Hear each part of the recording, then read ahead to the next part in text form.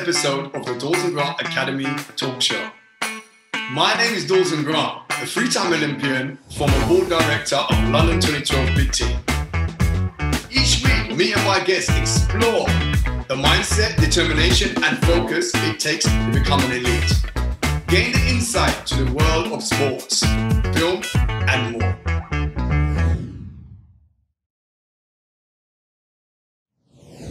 Today's show is sponsored by Rhythm Kitchen, Caribbean food fresh off the grill.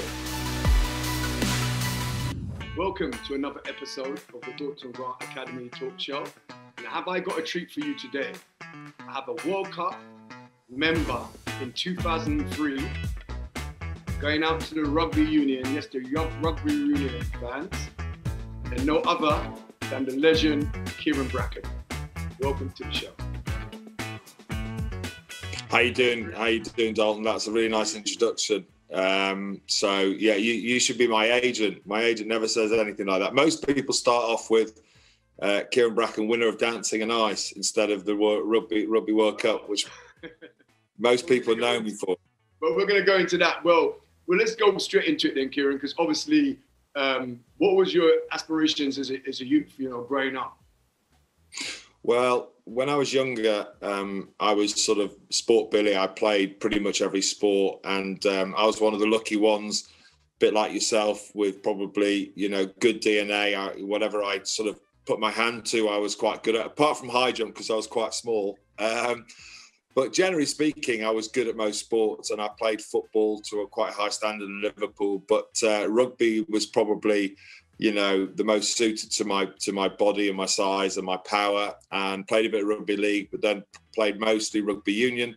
Um, but you have to imagine though that rugby uh, wasn't uh, a professional sport at the time. There was you know there wasn't an opportunity to make a living you know in rugby. Obviously my you know my uh, hopes and aspirations were to to go on and play for England. Uh, a very distant dream when I was a young kid, but uh, there wasn't a career in it, so it wasn't, you know, no one knew anything about gyms and strength and power like they do now. So it was a very different era I grew up in. Nowadays, my kids growing up, you know, aspirations to play at high level, but they're in the gym and the, you know, it's very very different. But uh, I wouldn't swap it for the world.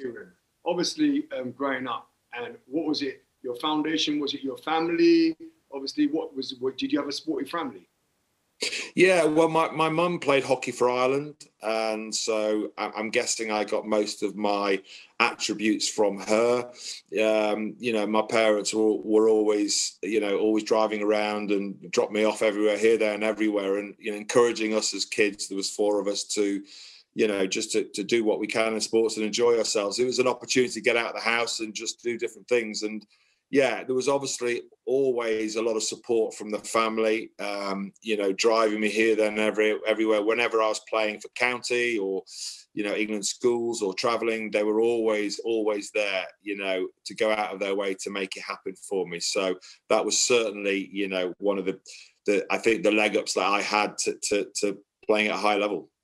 Well, great. So you played league a little bit. Obviously, you, you, your career took off in rugby union.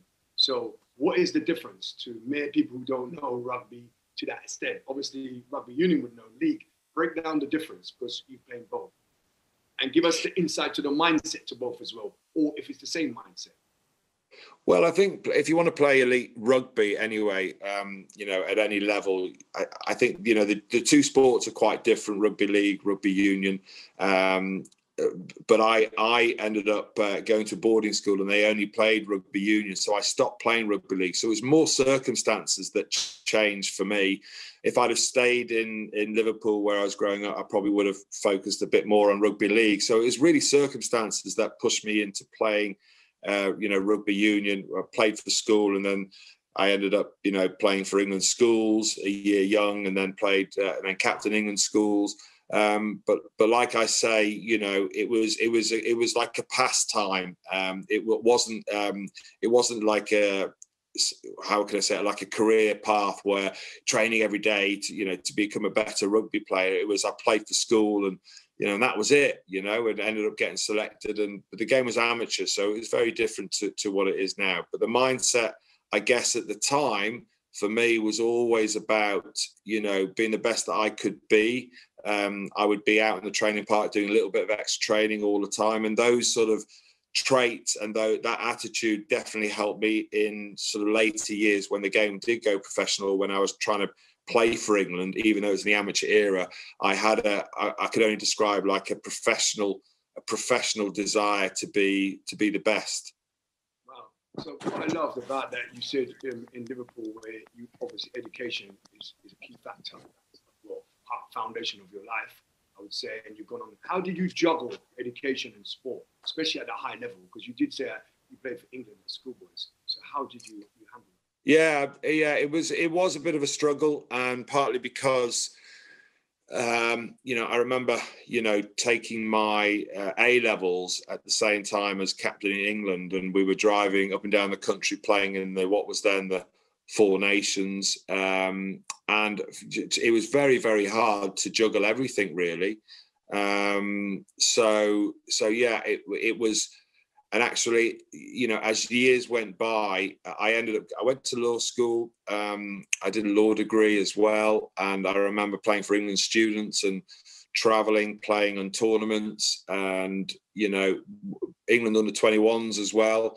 Um, and I was always trying to fit in my my degree at the same time. So I found it really hard to juggle the uh, academics with with the rugby. But like I say, the rugby, um, you know, we went in the gym then. You know, I didn't go into a gym until I was sort of 25. Um, so it was it was just training in the week and playing at weekends and sometimes in the midweek. It was that. So for me, uh, you know, the juggle was a lot lot easier than it would be nowadays. Uh, a lot easier.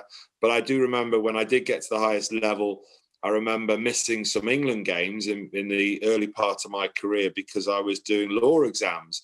I decided not to go to South Africa um, and play against the South Africans. Uh, instead, I was doing my law exam. So nowadays, would you ever, just, you know, like decide not to play for your country, just concentrate on your academics? So it's very different. Obviously, now you you delay your exams and you'd go and play for your country. But I I decided differently. So it was a very different mentality then. Yeah. So your mentality, we love that the mentality. So what would you say gave you that foundation, that support? Was it family? Was it friends? to, you know, to handle that. And you know the culture of rugby because you know you've got to have that bonding. So if you're going away yeah. and going to education, maybe someone in the setup, you know, think you're a bit different. So you're an outcast. So what was it like? How did you handle that? Well, I'm going to say I'm going to say that um, in rugby terms, uh, I suppose I had a leg up because I went to a private school, um, and I think you know 30 well 40 years ago, um, you know, rug- rugby the rugby elite came from um, the, the the middle to upper class Oxford Cambridge type person, you know, uh, underprivileged, didn't probably play rugby union, uh, and so I, I, suppose I had what you could call um, a white middle upper class uh, leg up in the fact that you know not not as many people play it as they do now, and I went to a good school and I I, I, captained and I played for the county, and it was all jolly good, if you know what I mean. And then when I went to university again, it was a case of, um, you know, I was already in the system, and it was it, all I would say is I was sort of I was very lucky. I, obviously, I had the talent, but I also had the leg up from the education, from the background, um, and I and I think you know nowadays that's much less important than, than, than it probably was. You know, the likes of Will Carling come from you know Seb Sebba Sandhurst, you know uh, Rob Andrew, the fly half, you know Cambridge University, um, you, you, know uh, private schoolly educated. So it's very, I think it's very different to it what it is now. So what, what is it like to change then? So what about someone who hasn't come from you know a leg up, so to speak?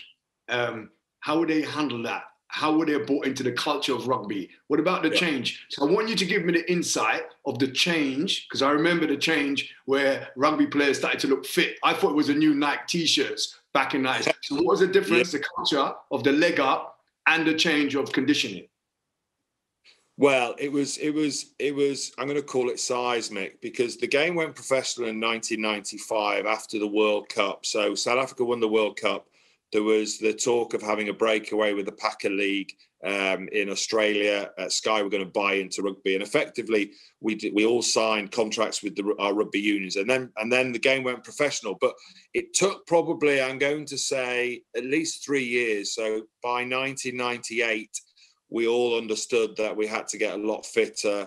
The rules of the game were changing. Um, and so, you know, you had to be fitter, you had to be stronger to play the game. But where did you bring this in, Kyran? So you had to be fit and stronger. What, what yeah. sport did you go into? Fitness, strength? Is it bodybuilding? Yeah. Is it athletics coaches? Yeah. yeah. So, so, so, so rugby players in the amateur days, you know, rarely went to the gym. There wasn't that science about being, you know, getting big and getting strong. And so uh, effectively, uh, our rugby teams, you see, you've got to imagine in 95, 96, half our rugby team were uh, full time professionals and the other half were part time professionals. And so we trained together twice a week. And then the rest of the week, we go to the gym and just mess around. We weren't really taking it seriously until about 98 where we start getting proper testing. So the testing came in, and the, so we were tested on our body fat ratios, then on our power, on our squats, on our uh, clean and jerks, and so basically in the gym, and then we were tested out in the park for our aerobic and anaerobic uh, capacity. So what happened was it went from nothing to quite a lot within a couple of years, and I, I guess our testing was probably similar to your sort of testing in the athlet, athletics arena, where it was what can you bench press, what can you squat, how you know how high you can jump, what's your body fat percentage. So we stole we stole all of that from you in about 96, 97. But the I'm going to say the culture was still the same typical rugby player amateur culture, which was go out on a Wednesday night, have a drink, you know, party, have a curry, uh, you know, and then on a Saturday night play a game and then do it all over again. And it was about the comradeship. It was about having sure. having a laugh. It was about it was about it literally it was about partying. It was like no. a young man game. It was but amazing. Let me, give you, let me give you an insight, Kyran. It was like that in athletics as well. You worked hard really? and you play hard. Yeah. After every event, you had to go to a banquet, whether to get your yeah. awards or so forth. Yeah. Be honest, people did didn't do the right things. But obviously, when a lot of sponsors more came into the sport, you couldn't really, you know, yeah, well, I don't need to go into it. But therefore, yeah. the culture was wrong. There was a mindset, and yeah. there was that I think gladi- gladiator approach. It was yeah. like you got injured, I just have a cortisone. It wasn't about getting a physio and nursing you back and choosing. That was just a culture. So you know the whole sport medicine changed. So this is why I would say the mindset. Like when you said you stole the training from athletics because you know that's the, the benchmark for you know yeah. I would say sports because Elite. I found that in sports I did that by being around the right mindset of people and learn from people who's been there and done that like the likes of Daley Thompson you know Colin Jackson you know Roger Black all these guys so you learn from people who's been there and done that and got a proven you know understanding of performance executing under pressure so, yeah. how did you support your team? Because the hardest thing, I would say, once you're talented and you've done your training, you're ready, is navigating yourself to the performance. Because you've got all these egos and these different personalities, you know, yeah, going into the uh, the biggest battle. You know, because obviously you represent your country, and you know how how did you handle that, or did the team all get on? Did you gel? Yeah, well, you see, I mean, look, I, I played for 15 years at the highest level, 10 years for England, and 15 years, uh, five, uh, 10 as a professional and five as an amateur. And I was involved in many teams with England or with clubs. And it is a, it's a, it's a great environment. It, you know, I would say, you know, the one thing that maybe, um, you know, which is different to your sort of career is that we do have this incredible. You know our performance does rely on the next person. You do your high jump it relies on you pretty much on your own. Whereas in sport in rugby it's a 15 man game or even with the bench coming on as well but it's also your coaches your physios and first thing the first battle is to get your best team on the pitch and that's always like trying to get people play on injuries strap yourselves up. It is a gladiatorial sport but the the sort of um, the comradeship and the success really relied on the I'm going to say the really small little uh, semantics relationships. Micro, Yeah, of all the players, and you'll have you'll have really great, great players who are really bad role models. You'll have yes. really average players who are great role models. You'll have this. You will have guys who really need a pat on the back every time they play, whether they're good or not, to give them confidence. You need other players who get lazy, uh, where you've got to give them a kick up the backside. And it really is. It's very different to most of the sports. You know, even football is. You really do need really do need to for it all to gel. Now, Saracens Definitely. have shown what you can do when you can gel it really, really well with you know leaders and uh, young guys and stuff like that. But getting that right in a sporting environment, certainly rugby, is really, really hard to do. So we at Saracens we bought in some of the best players in the world. We were copying the, um, you know, the what do they call Real Madrid, the Galacticos sort of um, yeah. players. So we we bought in Francois Pienaar, Philippe Sella, Tim Horan, the best voted the best players in the world, and it didn't work. It didn't. No, it actually no. didn't work. So you can get the best players. It doesn't yes. mean to say you, are going to play the best. It's all about gelling. But this is yeah. the kind of funny thing. What looking back at what you know on my sporting career, and even what you said, um, there's a lot of people who've won the medals, and if you saw them leading into the competition, they were a wreck. And it was never them. It was a coach, or it might be your teammate. So when yeah. I went into major championships, there's various athletes I wouldn't hang around because yeah. they didn't have the right mentality. And the funny yeah. thing, when you look back and you said it's gelling the team, let's be honest, you have to take responsibility because if you're not playing to the best of your ability what you need to play, they're not going to take off the whole team for Kyran Bracken. He has no. to play at his level. So yeah. even if it's a two percent, we need two only two percent because that completes yeah. the team. So everybody, yeah, yeah, absolutely. The thing in rugby, yeah. the margins, you've got 15 guys, and you can have one or two guys who are a bit below, but then you need the other couple of other guys to do, be a little bit like that. And it sometimes, and the problem is in rugby, it very much depends on you need the key personnel who have a much more influence in the game. The thing is, you know, and I'd be interested to get your take on the psychology of of of the pressure of sport which is a different sort of conversation, but it's a much more important conversation than gelling of a team. But but in rugby, you know, you'll have players. So in my position, I was like the quarterback along with the fly half, who basically would direct things that happened. And what I found hard is that if the, if let's say the the the main decision makers, the hooker, the number nine, which was me, and the number 10, if they played well, then it, it, it gave a massive platform for everyone else to play well. If That's they right. played badly, then yeah, it, it, it really undermined the rest of the team. That's and so, right. unfortunately, in a game of rugby, you did have a scenario where some players were much more important to the outcome than other players. You could have a prop who can hold up the scrum and not touch the ball for the whole game, okay, um, which has the influence of just making sure you win the ball. But then you've got a number nine or number 10 who, who touches the ball 160 times or 150 times. And you want those to be like good effects on the game. But uh, it, from from my point of view, I always struggled with um, the pressure I put on myself to perform at a high level. Obviously, I had the pressure. let's break that England. down. Let's yeah. break that down. What kind of pressure did you? How do you put that pressure on yourself? Would you say? In what way? Well, the first thing is the outside pressure on on okay. let's say the game itself, which is a normal thing. Like you might have a World Championships, we would have like a World Cup, or yes. we'll have a Six Nations Championships. For you, it might be a Diamond League, you know, winning the Diamond League or whatever. Yes. So, but but you see, what happens is within every player, and this is why I do have a real sympathy for footballers.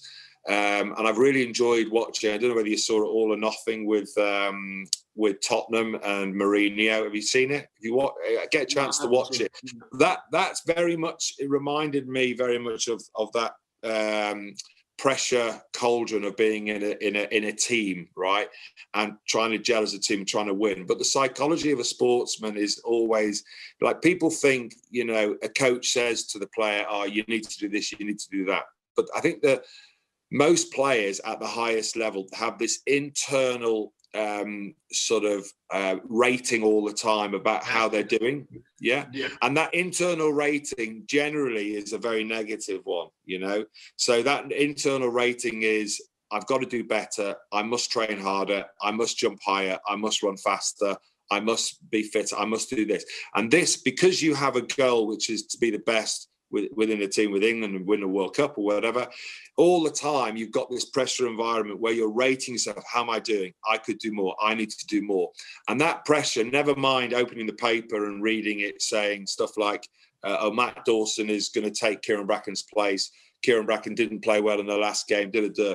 You know, you, you read that, which is fine, but you know yourself, you're under pressure. You know, there's no more bigger critic than you yourself. And I think the, the the people who play at the top, you know, who get to the top internationally, like you did, is you know that that constant, constant internal ranking and rating of how you're doing is the thing that drives people to struggle with mental health but but but also also you know perversely makes them who they are Definitely. you know you you talk about Jonny Wilkinson he's like a you know, with his kicking, he would practice for two hours after training, after two hours training, and and basically he was always striving to be the best he could. But he was a he was a troubled soul. He's already talked about his uh, mental health. He was a troubled soul, but it, it, was all driven by perfection.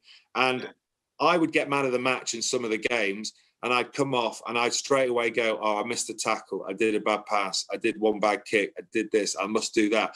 And that's that's the sort of burden that we that we yeah. sort of whole. That's the cross that we bear as as as, as high end athletes.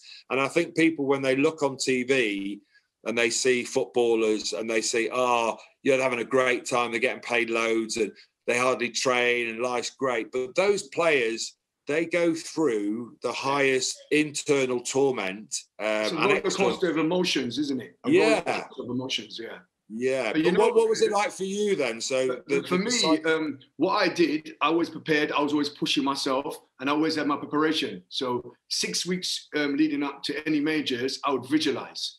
So I did all my training, and I visualized, and I would look at things that kind of motivate me, like gladiators, rugby players, SAS yeah. mindset. I'm yeah. I'm not going. I'm going down fighting.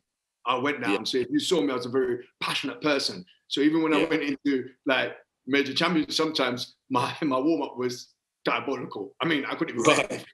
but I'm still going to come in at 215 or 230. Once I make yeah. my mind, I stick to it. And I think when yeah. I get into that motion and the energy, my passion and the drive to fail and everything, I'm very good for taking that energy and I get to yeah. that point where I'm going to explode, but I kind of calm down and it goes inside and it starts to boil it's boiling. And then I hold that energy and I take it around and I'm want to lay it out, lay it out, and I don't. And I just hit, put my foot down, bam, and explode and relax yeah.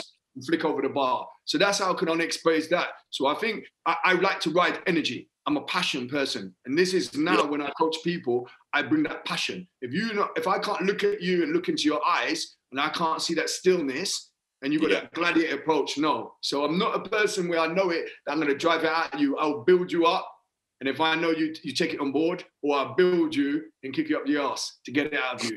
I mean, what, what, so what would you like? Not physically, what? mind you. I don't want no one to think that I'm going yeah, around yeah. my athletes. What, you know? So what were you like? What were you like then uh, with with uh, like the disappointment? So let's say you you know you go into a championship and uh, you set yourself a target which is which is achievable and you go nowhere near it.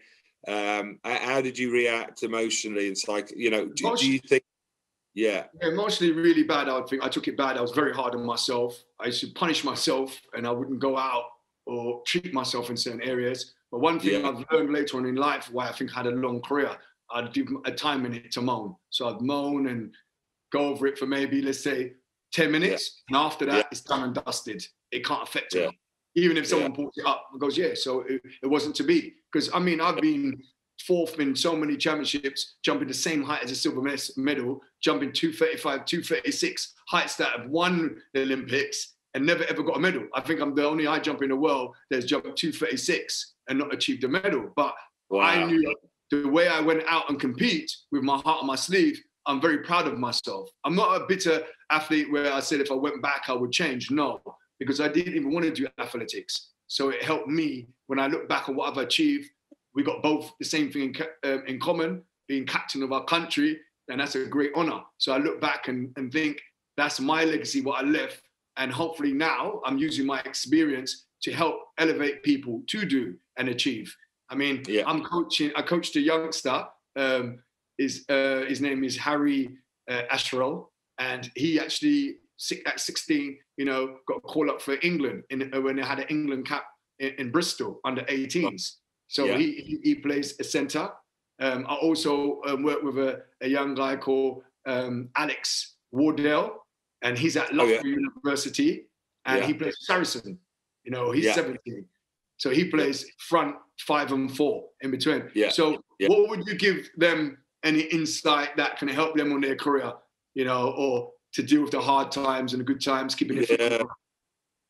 Well, I think I think um, rugby is one of those sports which is um, which is kind of like there's so many different aspects to it now. So you've got the skill level that's required in your position, you've got the skill level required in the game of rugby generally, but then you've got the um, the fitness element, which is which is hugely important, and then you've got um, and then you've got the psychology and the mentality. So you've got those three things. So you've got the skill level, you've got the uh, let's call it the athlete himself and then you've got psychology and they all work together massively. So you can't have a player who you can't have a player who has really high skill level who isn't very fit got great mentality because what will happen is after 10 minutes they'll be out of the game you know? You can't have a player which is does has a low skill uh, great mentality really fit and like five times in the game they drop the ball. You can't have a player who has a very uh, like like self-esteem and very low in confidence right who's got really good skills and really good athlete but then they shy away in the game and they hide. So what you need is you need um, you need literally the, those three things to work in tandem and everyone has a weakness in one of them you know? So for example my eldest boy um, he's so he's got great mentality core skills are really good but um, physically, like physically, he's slightly behind in his year. He was premature, so he's slightly behind in that. So he's he's working really hard to catch up on his strength and his speed and those sort of things. You know, so he's working really hard on it. And I think it's important that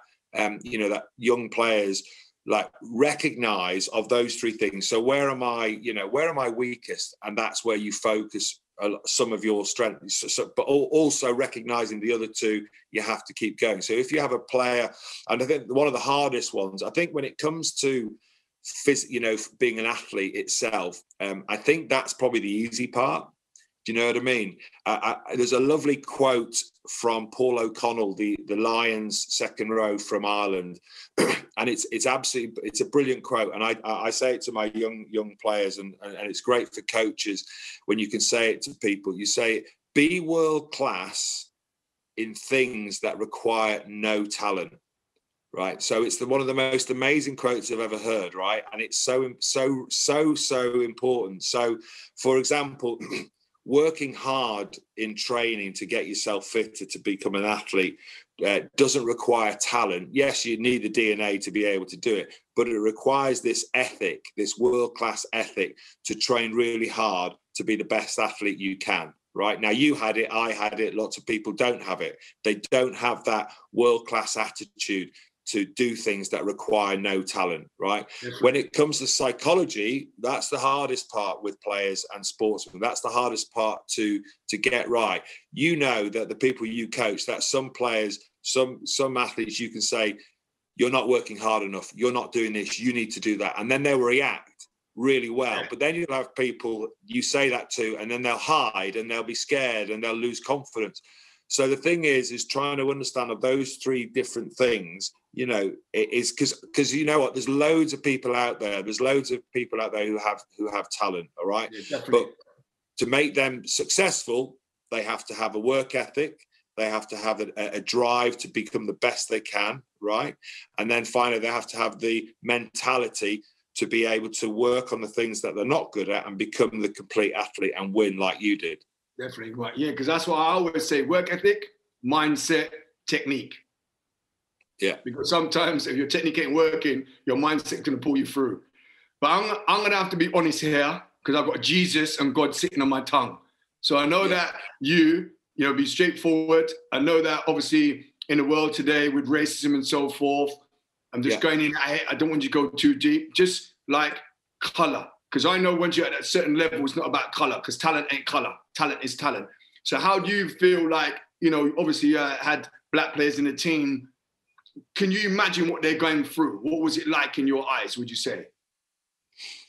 Well, um, that's a really interesting question, and I've, I'll, I'll, be honest with you, I've never really, I've never really thought about it because you know the Black Lives Matter and everything. You know, you see what's happening, and you kind of, um, you kind of, you look at it very. Um, you don't look at it from your own perspective, in a sense, and and it's no one's ever asked me, you know, what do I think it must have been like for Victor Ubogu, Adedayo Adebayo, uh, Steve Ojomoh, uh, Jerry Guscott. What was it like for them being in a very white dominated uh, rugby environment? And the first thing what I would say is typical rugby attitude would be take the piss out of out of the, the you know we're going to call it the token black person in the team all right? Because the only way to sort of you know the sort of things that were said those days you know you could never say these days you know? So there was i think and i you know it was it was much more uh, in a jovial way. I have no idea of how um, that felt for the black players within the team. I've no idea. And at the time, you know, being honest, we never really thought about it because we weren't really um, aware, I, I suppose, of what their struggle might be. So Adedayo, Adebayo, you know, all the jokes would be the typical jokes about, you know, about black people without being, you know, being really well hung or whatever. We'd take the piss out of them being really well hung. You know, you know, is that is that racist or is that jovial or, or never never really recognize well what does that how does that make them feel and then I, if it coming from Nigeria, there'll be all sorts of jokes about Nigeria, you know, you know, lots of wives and stereotypical jovial stuff. Where looking back at the time, we thought it meant nothing, but I'll be honest with you, I've no idea how it made them feel. Um, no idea. Now, I, I, my guess is some of them would have been offended, and some of them wouldn't have been offended. How do you think they would have taken it? Because you, you're in that environment. Yeah, that environment for for me the SR was aware of it, but I had to push it on one side because nothing could affect me when I was going out there, you know, to try and achieve my ultimate goal. If it did affect me, I shouldn't be out there because it's about pressure. And you know what yeah. athletes would do. If athletes would take drugs to achieve, they would say anything. They would say racist, you know. There were more athletes. There were more athletes of color. So you had you had role models, didn't you, already in athletics? So, and that's yeah, why I. No, we I were believe... the pioneers, though, Kim. We were the first. Yeah. Don't forget, we broke it through when it changed from that, you know, rowing and that rugby and that mindset, yeah. that culture, coming from a deprived back, background and going and, a, you know, achieving at a high level. So, um, it's not now you'd walk off, but I I'd never think dream of walking off. No, no, I have to handle it, suck it up, and take it to the next level. And that's when you get to a level as an athlete to block things out.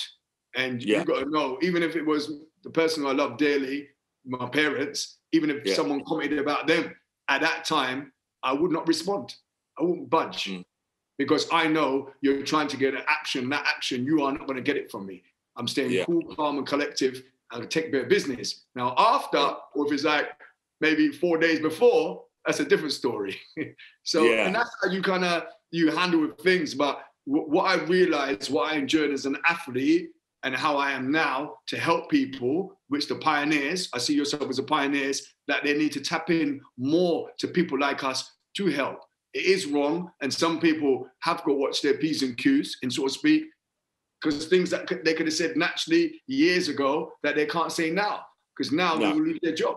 So I think it's got to be a culture, and we have to look into this, and we have to take time to help to make change. But well, I think mm, I think there's a big change. There is a big change in rugby now. Uh, there's there's a lot more players of colour coming into the game of rugby. Uh, when they watched it on TV, there was very very few black players, um, and nowadays there's a there's a, a lot more uh, players because they see role models playing for England. You know, there's quite a few of colour. Courtney Lawes, lots of players. Anthony Watson. There's loads of players now, so there's role models, and so people don't. You know, they might see you and other guys in athletics, and they say, "Well, no, I can play rugby. I don't. I don't have to go to the private school anymore. No, I can be. I can be a, a professional rugby player." So there are quite a lot coming through, and they're great for the game because they're powerful, they're strong. You know, and um, but I think the old the old amateur environment. You know, we we you know players would be put in prison for the things we said, you know, oh, yeah. and did as well. But it's, I think, you know, things have changed, and I think it's great. It's absolutely fantastic. Yeah. The other thing is, there's not many coaches, black coaches, which is interesting. No, you know, a lot of players. is that temperament that you have to have.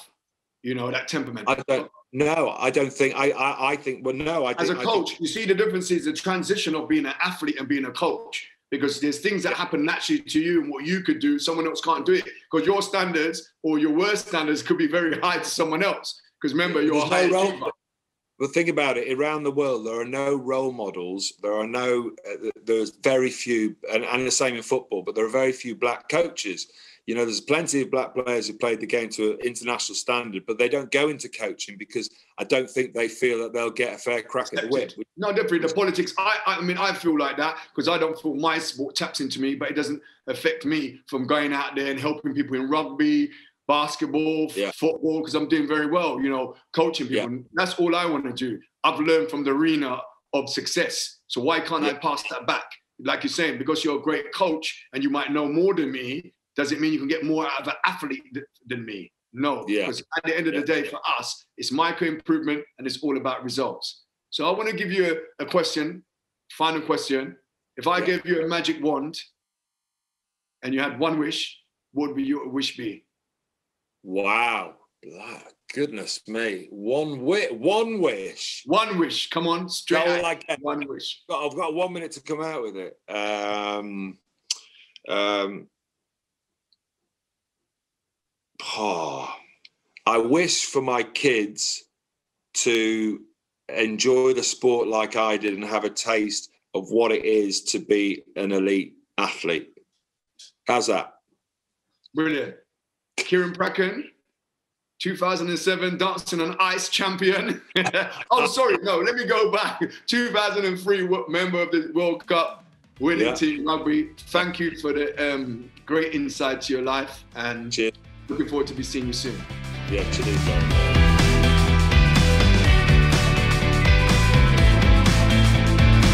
Today's show is sponsored by Rhythm Kitchen, Caribbean food fresh off the grill.